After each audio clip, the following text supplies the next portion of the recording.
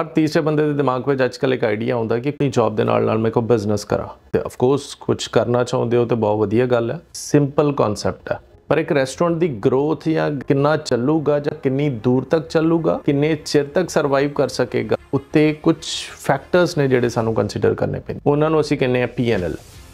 it's basically uh profit and loss sheet restaurants ਨੂੰ ਪਤਾ ਹੀ ਨਹੀਂ ਹੁੰਦਾ ਕਿ ਆਪਾਂ ਉਹਨਾਂ ਨੂੰ ਕਿੱਦਾਂ ਆਪਟੀਮਾਈਜ਼ ਕਰਨਾ ਚਾਹੀਦਾ ਫੂਡ ਕਾਸਟ ਪਰ cost labour cost controllables non controllables ਇਹਨਾਂ ਦੇ ਆਧਾਰ ਤੇ ਅਸੀਂ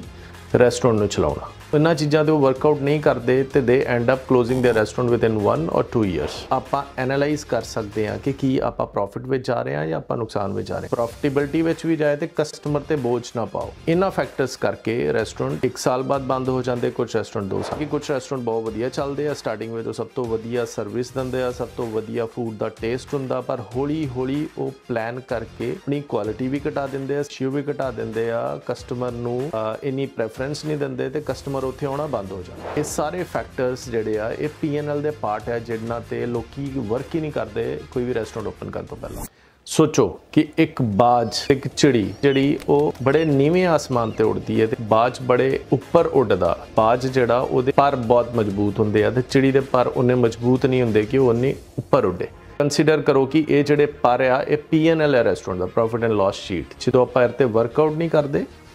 ਤੇ ਸਾਨੂੰ ਪਤਾ ਹੀ ਨਹੀਂ ਲੱਗਦਾ ਕਿ ਅਸੀਂ ਕੀ ਕਰਨਾ ਚਾਹੁੰਦੇ ਆ